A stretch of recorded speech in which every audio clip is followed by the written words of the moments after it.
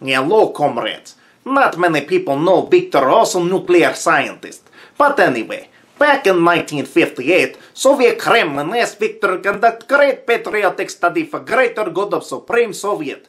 Victor graciously accepted, and Victor began study on effect of nuclear radiation on human body. Soviet Kremlin a big Russian plan to drop bomb on United States and then send an invasion force to take control of country.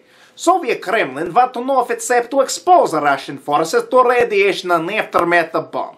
Victor head to Siberian Gulag to begin study, and Victor spent eight months there. Now maybe you ask, Victor, what is Gulag? Well, Victor tell you. First, all praise to current Russian president. Victor know that current Russian president, whoever he may be, is best president Russia ever have. Praise be upon him forever. Now, anyway, Every now and then, politicians in Russia try to take power away from supreme and unquestioned president. And more often than not, politicians fail to get power.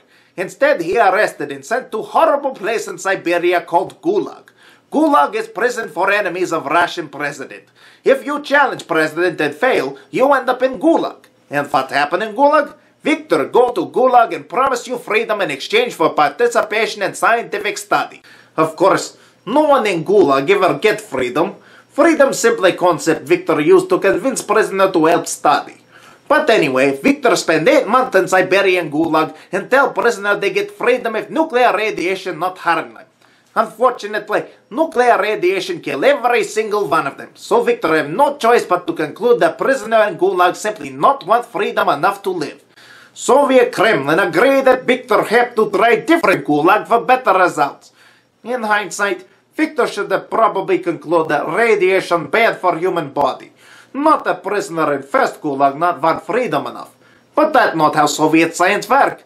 Soviet science more practical than American science. So anyway, Victor finally get results Soviet Kremlin want, and Victor hailed as hero of Soviet Union. He was first of many time Victor hailed as hero of Soviet Union. So if you want nuclear bomb in your country, call Victor. Victor make bomb for you without question.